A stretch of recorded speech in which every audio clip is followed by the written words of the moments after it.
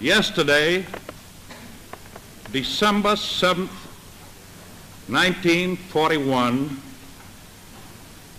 a date which will live in infamy, the United States of America was suddenly and deliberately attacked. The attack yesterday on the Hawaiian Islands has caused severe damage to American naval and military forces.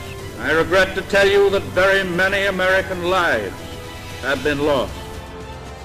2017 marks the 76th anniversary since the island of Oahu became a battleground for the servicemen and women of Naval Station Pearl Harbor.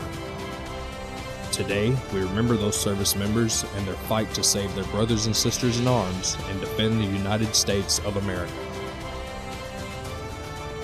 No matter how long it may take us to overcome this premeditated invasion, the American people in their righteous might will win through to absolute victory.